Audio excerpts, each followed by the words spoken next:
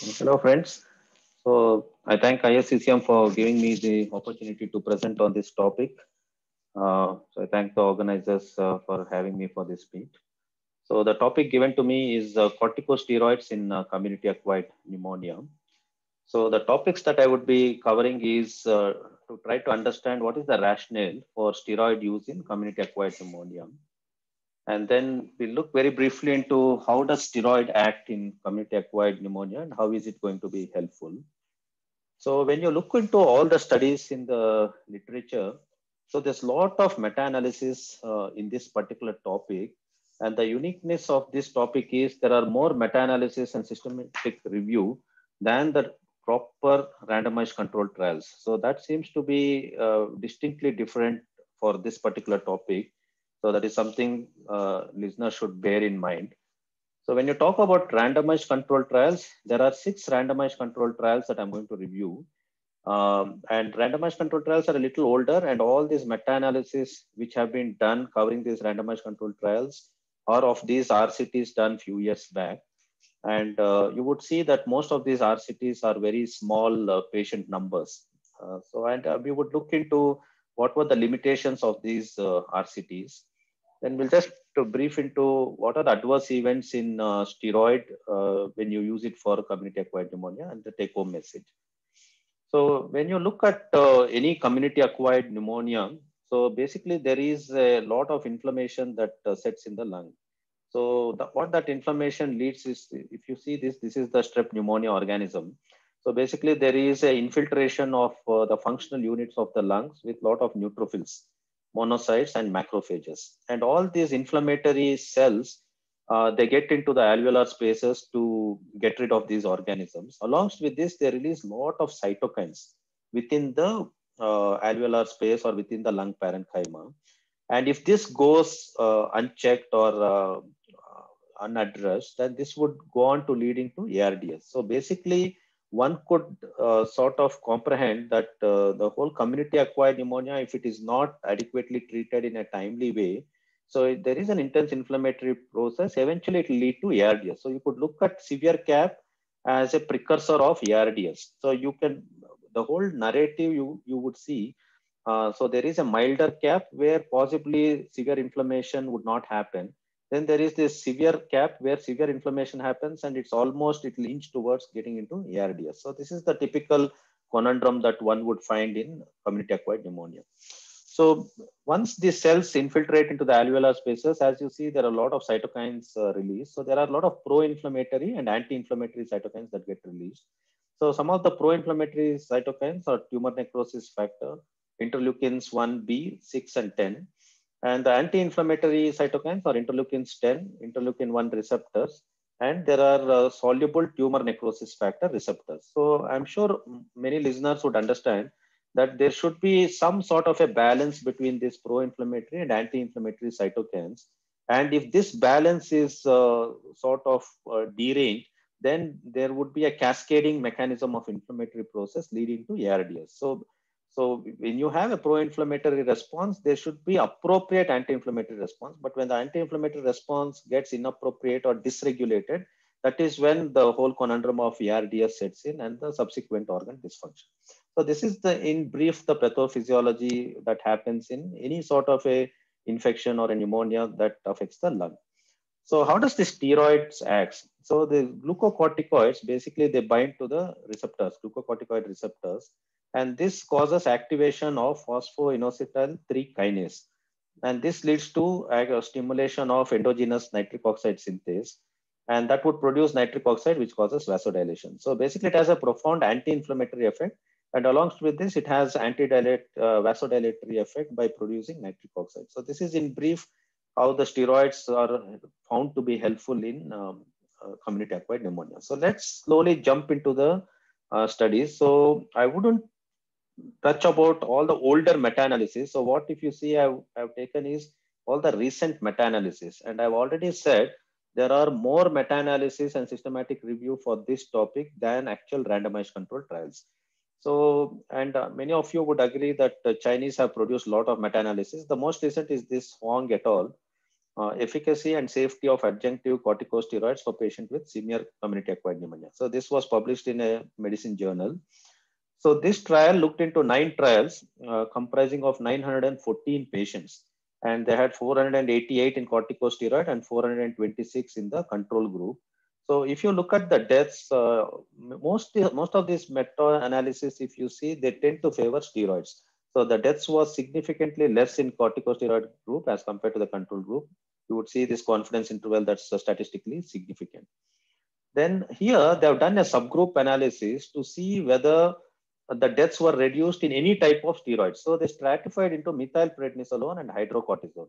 So the significant reduction in mortality happened in methylprednisolone group and did not happen in the hydrocortisone. So if you look at this confidence interval, significant for methylprednisolone, but for hydrocortisone, it was not significant.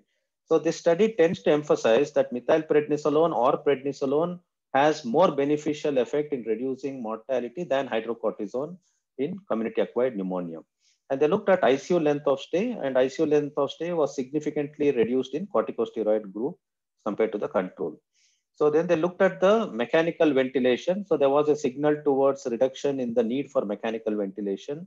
In, although it did not achieve statistical significance, but there was a strong uh, lineage towards the benefit uh, in reducing the mechanical ventilation. And when they looked at adverse events between corticosteroid and the control group, there was no difference with regards to adverse events. So this is the forest plot for mortality. As you see, it is statistically significant. And these are all the number of studies, uh, small randomized controlled uh, trials that they've taken. So I want listeners to um, uh, put your attention on these two, uh, Sabry et al. and Nafae et al. So these two studies came from the Egyptian group and if you see the maximum effect size was found in these two uh, Egyptian studies, which comprised of a very small number. So basically you will see at the end, so I would be emphasizing on these because these two studies in all meta-analysis tended to skew the data towards statistical significance of other studies as well. So, so these are the two studies which tend to act as an outliers, um, uh, which uh, give a lot of positivity to this meta-analysis. So this is a uh, much spoken about article uh, which was done by Canadian group, uh, which came in Annals of Internal Medicine uh, by Siemieniuk et al. So corticosteroid therapy for patients hospitalized with community acquired pneumonia. So this is a Canadian meta-analysis. So the median age in this study was 60 years and 60% uh, of them were males. So this uh, stratified the studies into various groups. So the first sort of a uh, analysis they looked was 12 trials, 1,974 patients. They looked at all-cause mortality. So all-cause mortality uh, tended to be less in corticosteroids. If you see confidence interval, it, it, it is not actually statistically significant. And the risk difference was 2.8%. So basically there was 3% reduction in death in the group that got corticosteroids uh, in this meta-analysis. Then here they took five trials uh, to look into mechanical because all the trials they took obviously did not look into duration of mechanical ventilation. They looked at five trials which looked into mechanical ventilation comprising of 1060 patients. And they found the need for mechanical ventilation was significantly reduced in corticosteroid group. Uh, the relative risk was 0.45 and it reduced the risk by 5%. So the risk difference was 5% and it was statistically significant. Confidence interval was significant. And they looked at four trials which looked into development of ARDS in patients who developed CAP and this included 945 patients. Uh, here, the relative risk was statistically significant, 0.24, and you see the confidence interval, this is statistically significant. So there was 6.2% reduction in patients developing ARDS uh, in this particular. So they have done a lot of subgroup uh, sort of analysis to see where all steroids was found to be beneficial. So they looked at six trials uh, comprising of 1,499 patients looking at the hospital length of stay. And hospital length of stay also was significantly reduced in the corticosteroid uh, group and the risk difference was 5%. So there was a 5% reduction in uh, with regards to the length of stay in the hospital. And they looked at hyperglycemia. So hyperglycemia also was found to be uh, this they identified from six trials, 1,534 patients, and it was found to be significantly higher in patients who got corticosteroids with the uh, relative risk of 1.49 and the risk difference was uh, increased by 3.5%. There was 3.5% increase in patients who were needing corticosteroids. So the conclusions they made in this meta-analysis, which is which is quite a robust sort of a meta-analysis, and there's more weightage given to this meta-analysis when you talk about steroids in community-acquired pneumonia. So the steroids significantly reduced uh, mortality, not significant because it did not achieve statistical significance here, but there was a strong lineage, uh, uh, sort of a uh, leaning towards reduction in mortality. There was a mortality reduction by 3%, and mechanical ventilation reduction happened by 5% and hospital length of stay reduced by one day. So these were the conclusions that was made in this particular study. And this is the forest plot looking at all cause mortality. As you see, um, although it is not fully statistically significant, but very close to getting statistically significant here with regards to mortality. And if you see need for mechanical ventilation, it was significantly reduced. So the left side you see is the steroid group Right side is the control group. You see a diamond nicely moving and this confidence interval is significant. P is significant. And the development of ARDS also, you see the diamond nicely moving towards corticosteroid and you see the confidence interval statistically significant here. And hospital length of stay also, you see statistically significant, diamond moving to the left and confidence interval also significant. So these were all the forest plots which looked into the trials, which looked into length of stay, which looked into uh, patients developing ARDS and which looked into patients needing mechanical ventilation. So that, these are the two recent meta-analysis, the Canadian one and the 2015 this came and the Chinese one which came in 2019. So the older ones are these. Uh, so this came in 2015, Marti et al. So this came from the Switzerland group. Uh, so this again, as I said, there are more meta-analysis for this particular subject. Uh, so this showed reduction in mortality and it reduced the risk of severe complications, reduced the length of hospital stay, and reduced the time to clinical stability in patients who received corticosteroids. And adverse events they noted was, uh, as expected, hyperglycemia was seen in this. So this was the second meta-analysis. Again, most meta-analysis, if you see, they came around 2015 uh, because they encompass a lot of small trials that were done prior to this. Kurita et al. was a Japanese uh, meta-analysis, came in 2015. Again, it showed decrease in mortality, decrease in the uh, hospital stay, and the time to clinical stability also was reduced. But hyperglycemia, there was no difference uh, in, with this meta-analysis. And these are the two Chinese trials, which came in 2015 and 16, uh, comprising seven RCTs and nine RCTs. The Chen et al. showed no impact on mortality and reduced length of hospital stay but there was no difference in the glycemia. Wan et al. showed no impact on mortality, but it showed reduction in development of ARDS in patients on corticosteroids and uh, reduction in the hospital length of stay and ICU stay. Uh, and uh, this study also showed the duration of IV antibiotic need also was significantly reduced. So these are the list of uh, meta-analysis. So you have so I, I so you saw two meta-analysis which I covered in detail, and these are the four. And then there is a Cochrane review database which came. So now we'll move on to randomized control trial. So this is the randomized control trial which came in Lancet, uh, which which was done by the Swiss group. So adjunct prednisolone therapy for patients with community-acquired pneumonia, multi-center, double-blind, randomized, placebo-controlled trial. So this was a RCT which came in 2015. So as the name suggests, it's a double-blind, multicentric, randomized controlled trial. So this trial was done in seven hospitals in Switzerland within 24 hours of them presenting. One is to one randomization was done. So here they used oral prednisolone. They used 50 milligram per day of oral prednisolone for seven days. And this was compared with placebo. Uh, so for community acquired pneumonia. So this study was done between December 2009 to 21st May 2014. So the primary endpoint was to look at the time to clinical stability in patients with community acquired pneumonia. So what did they find? So you, you can see the uh, Kaplan-Meier curve already. So they had 785 patients randomized between prednisolone and placebo.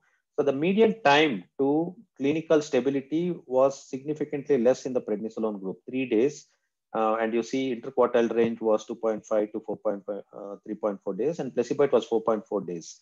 And confidence interval was significant and it was statistically significant.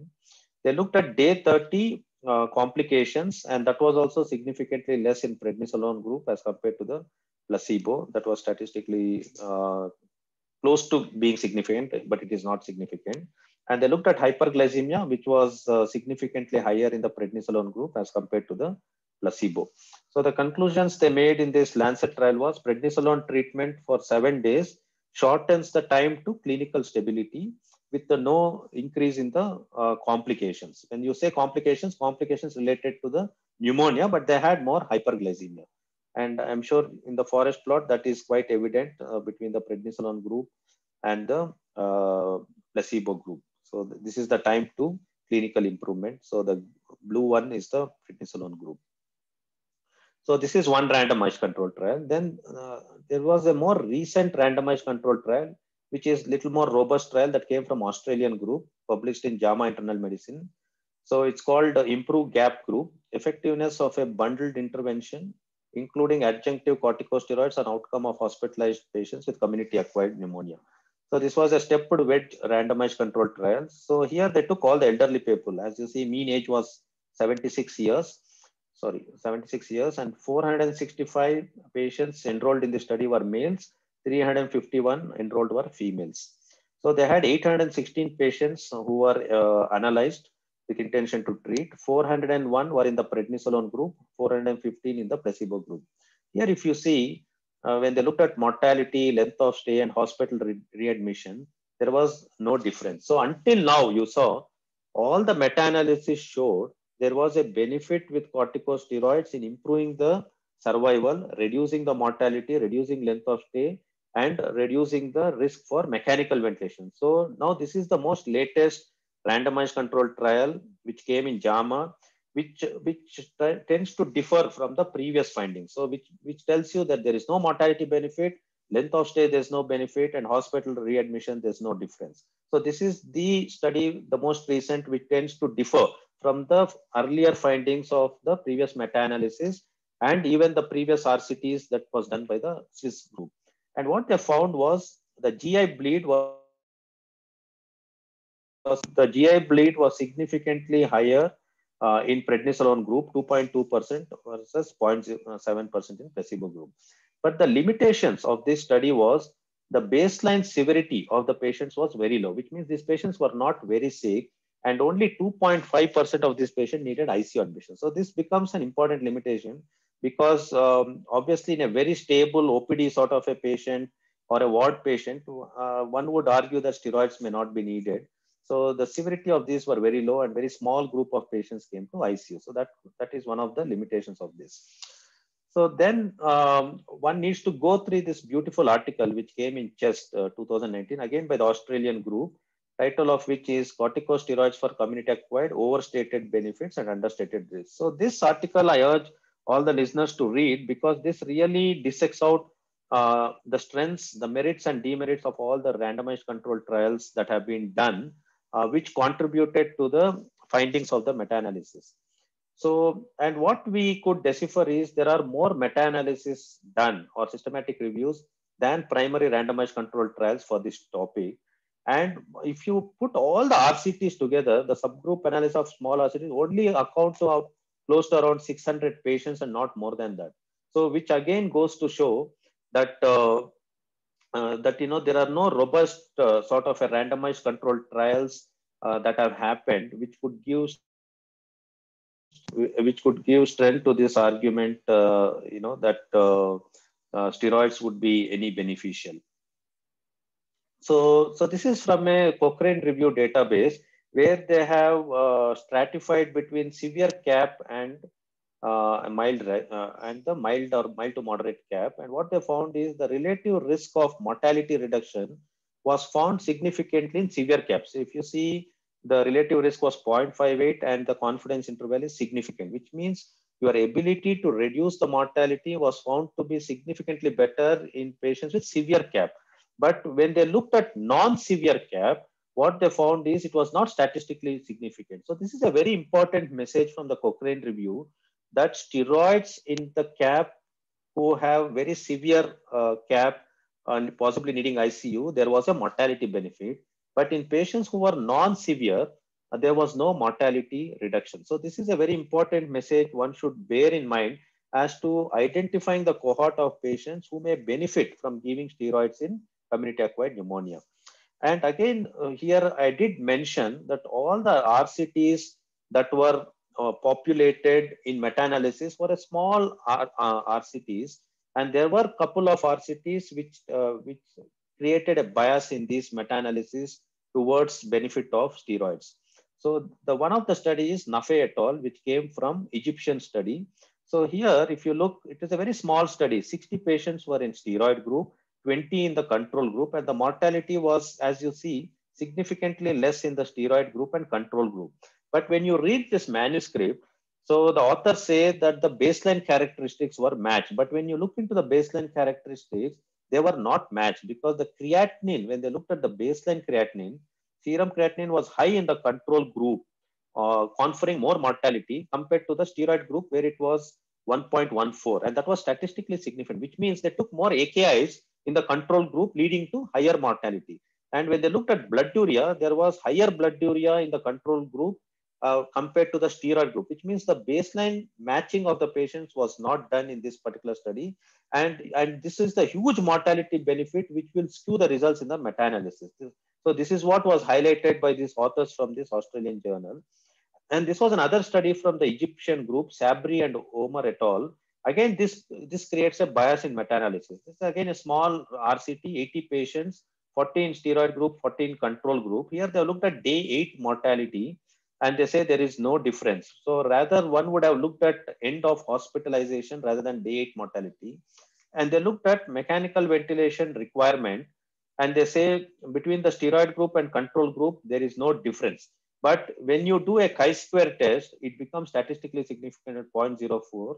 And when you apply Fisher exact test, it attained uh, sort of close to statistical significance. So basically, these Australian authors highlighted the limitations of these randomized controlled trials, which had a lot of fallacies and flaws and which skewed the data in meta-analysis. That's why they rebuke and rebut the authenticity of the findings that one could derive from this meta-analysis. So this is an important message you get uh, when you dissect out these randomized controlled trials that were incorporated in the meta-analysis. And this was another Italian um, uh, randomized controlled trial, Confalonieri et al. 46 patients. See, I think I uh, urge the listeners to pay attention to the number in randomized. All these randomized control trials are very small in number. So 23 in steroid and control group 23, and you see mortality is zero in steroid group compared to seven. Again, this also acted as an outlier in the analysis of meta-analysis, which skewed the data. And here, if you look at the baseline characteristics, they gave more NIV in the steroid group as compared to the control group, which was statistically significant, which means to say there was a difference in the type of care that was provided, which also created a bias in the results that one could find in the meta-analysis. So basically what I'm highlighting is the flaws and fallacies in all these randomized controlled trials, which have skewed the data towards uh, establishing benefit with the use of steroids. But if you dissect out, uh, so all these RCTs have flaws and uh, really you don't see that sort of a benefit. And this acted as an outlier. So the largest and methodologically rigorous randomized controlled trials was by the Spanish group Torres et al. So this was the largest. So if you look at steroids in camp, the largest RCT is this, which came in JAMA 2015, 120 patients, 61 in steroid group and 59 in the control group. And as you see, the treatment failure was significantly less in the steroid group, again favoring the role of steroids.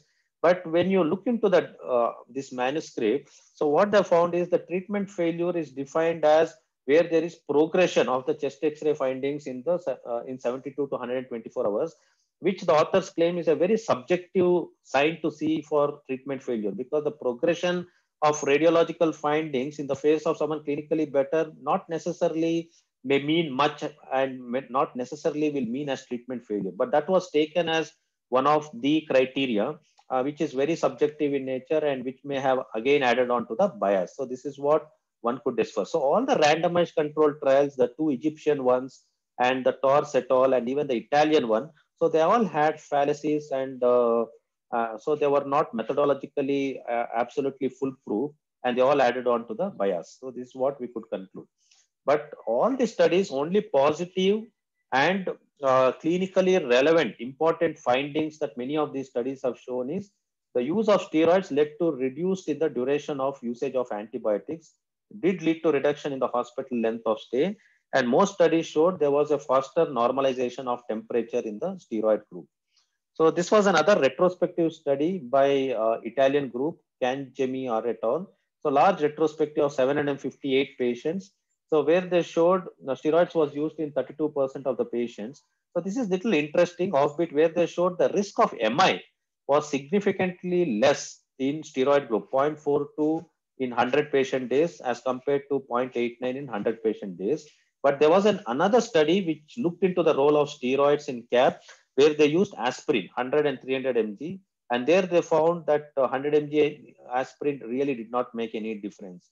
So basically this was an interesting finding that steroid use in this particular trial showed reduction in the occurrence of MI in community acquired pneumonia. So let's quickly jump into adverse events in the steroid. So what all studies showed adverse events in the steroid group? So these are the two studies, one from UK and Spain, where they showed steroid usage in CAP caused by influenza increases the mortality. So this one could argue, but for COVID, it is little different. But in influenza virus, these two studies have shown use of steroids increase the mortality. And most studies have shown increase in the blood sugar level, hyperglycemia. These are two good studies which showed hyperglycemia as a problem with the use of steroids. And this is a study from US which showed uh, patients with CAP treated with steroids had a higher risk of developing fractures and venous thromboembolism.